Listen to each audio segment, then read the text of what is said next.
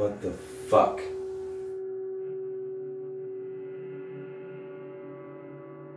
It goes to a two, but What the you go fuck get- was that?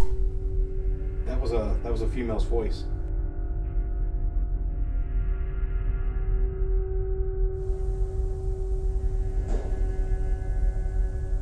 There you go.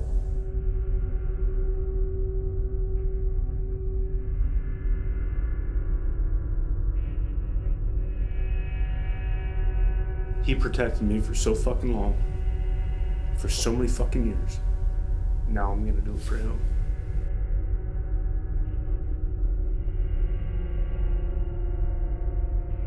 It kind of blows my mind that Christians are some of the first people to dismiss the paranormal when their entire belief structure is based on the paranormal.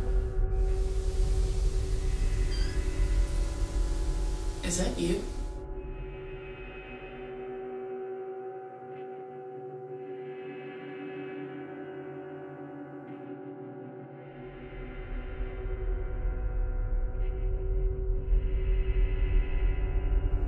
I think it's pretty safe to say that this is the most intense experiment that I've ever been a part of.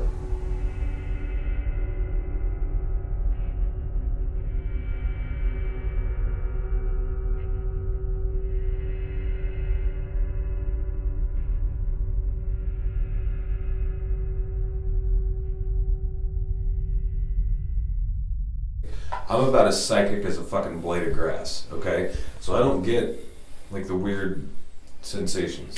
You know what I mean? Fuck.